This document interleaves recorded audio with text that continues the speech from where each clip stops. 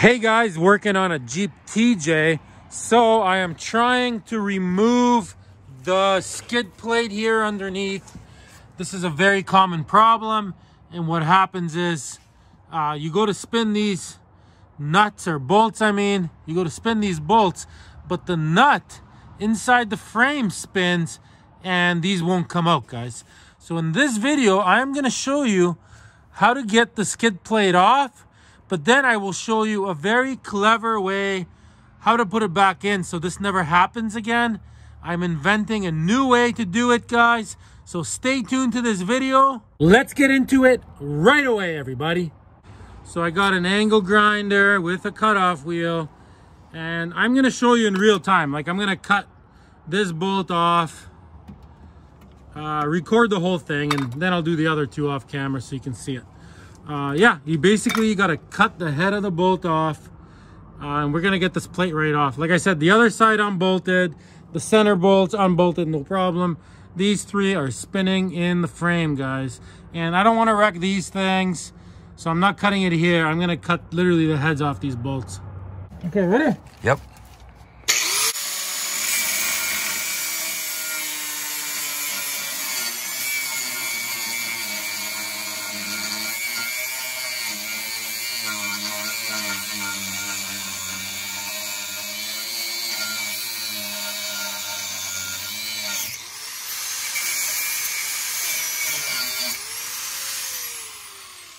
Remember guys, safety first. Tom here, he's wearing a mask, he's wearing ear protection, he's wearing gloves, and of course, he is wearing safety glasses. Okay guys, check it out. See, I got it cut. So I'm gonna cut the other two the exact same way. Unbolt everything, lower this plate, and then I'll show you what to do with these studs that are hanging out here. Okay, so I cut all three heads off, and look, this is off, see?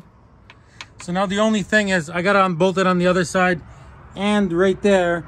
But what you want to do is you want to get a jack and like a board to distribute the weight. And we're just going to support the transmission so this doesn't sag down.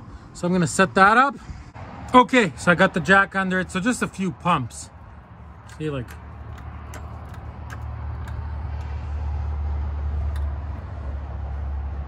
right there. See so this is basically where it was. Okay let's unbolt the rest of it. Okay guys the plate is off as you can see right? So i got some repairs to do. That's why i pulled the plate off. So now these bolts right? I mean unfortunately all you can really do with them is knock them inside your frame maybe you could try fishing them out these holes if you're really worried about them but they can just sit there we'll fish them out later probably get it out this hole just go like this.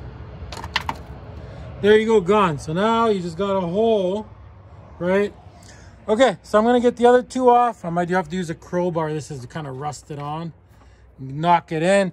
I'll see you guys probably tomorrow. I'm gonna do my repairs and then I'll show you how to get this back on in a way where you can take it off, put it on anytime you want, and you'll never have this problem again. So see you guys tomorrow. Oh, I'm fast forwarding till tomorrow right now. Okay, guys, all my repairs are done. Check out my skid plate repainted. Okay, I'll show you guys how to put this on now. I find this is the best, easiest way, and it solves the issue forever. So, I got myself a drill bit, see? Exact same size as these holes here. So I put it in like this. I used a little car jack underneath the drill to make it easier so I wouldn't have to push hard. And check it out. I drilled all the way through the frame. See, guys? So I did it to that hole, this hole. See, there it is. Tons of room up here. And right now I'm to do it to the last one. So let's do that. Okay, I'm gonna set up my jack here and drill the last hole. See you guys in a minute. Okay, see, so now I just drill and slowly turn the jack up. So that way I don't have to push so hard. Just a little trick, guys. Okay, I'm gonna drill all the way through. Okay, guys, so now I got this on with the jack. So look what we're gonna do now. I went to a bolt store and I got these nice industrial strength bolts. I got some locking nuts, uh, a couple big washers. I'm actually gonna reuse these ones. So these are from the head like that.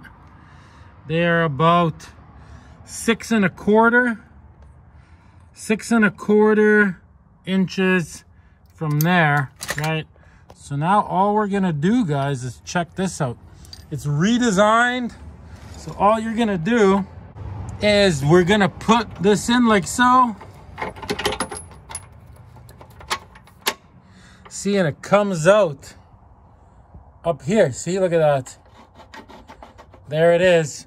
And on top there, we're gonna throw one of these on put this nut on. Just like that.